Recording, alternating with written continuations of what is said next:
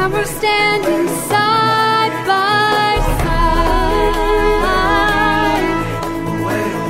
What it takes to